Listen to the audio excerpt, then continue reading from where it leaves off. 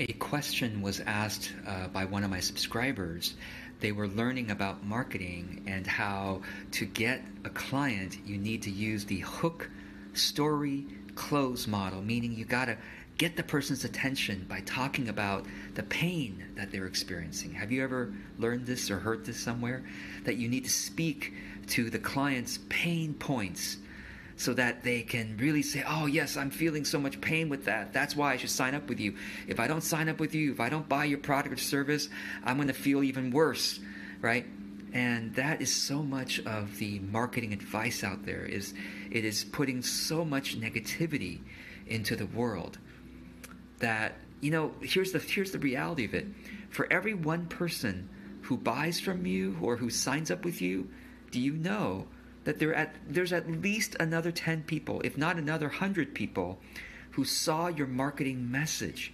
And my question for you is what kind of impact or effect are you having on those 10 and 100 other people who didn't for some reason buy from you that day? Maybe it's timing. Maybe they're just not at the right place yet, but they might buy from you at some point. But so much of the marketing teaching out there is is teaching us only to care about that one person who buys. We got to do whatever we can. You know, sell to their pain points until they buy. Use scarcity, use any kind of negative tactics, psychological persuasion, so that get that one person to buy out of 10 people, out of 100 people. But I just keep thinking about the kind of ripple effect you are making in the world with those other 10 people, those other 100 who didn't yet buy from you today. Are they going to have a better day because of the marketing message that they saw from us? I hope the answer is yes. This is why I talk about authentic marketing. That's why I talk about marketing as a ministry. Whether or not someone buys from you, you are making a difference in their life. So, can we instead of selling to their pain points, what if we instead sell to their joy points? What if instead we sell to their gratitude points or to their relief points or to the transformation that they're so excited by? What if instead of making them feel worse, that we talk about what is possible when they work with us? when they buy our product. Here's what the product or service has been designed to do for the, the right person. You know, here is why I'm qualified to provide this. This is why I'm so excited by it.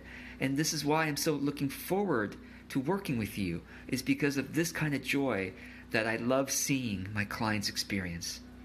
Why can't we sell to that? Why can't we emphasize that?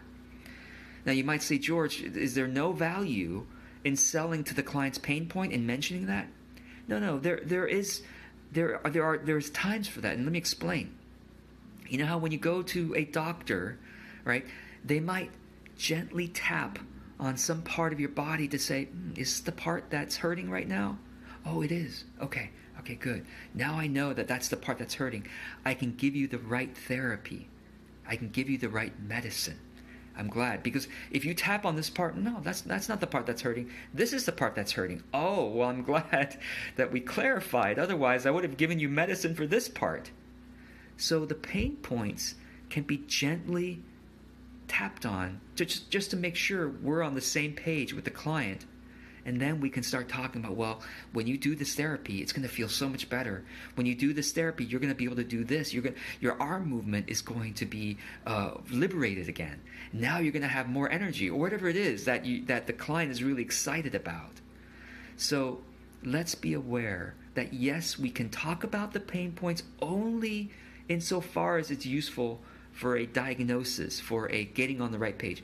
But then let's let's emphasize the joy points, the gratitude points, and the relief points so that even the people who aren't buying from us at the very moment can leave that marketing message better off. They can leave with joy. They can leave with hope. They can leave the marketing message with hope and optimism that, ah, there is a solution out there. I know that it is possible. And when the timing is right, I'll buy from that person or I'll use that person's service. I hope this is helpful. I'm George Kao, authentic business coach. I love talking about how do we do business from a place that really feels good to us and to our audience, and that we're making positive ripple effects in the world no matter if the person buys from us today. I don't care. If if you build trust, well, if you come from a place of trust, you will naturally create trust with your audience and they will naturally come back. They will hear from you again, I promise you. If you show up, continue showing up with compassion, with gratitude, with love, they'll they'll keep seeing you. So anyway, I hope this is helpful and I'll see you again in another video. Thanks for joining me. Take care.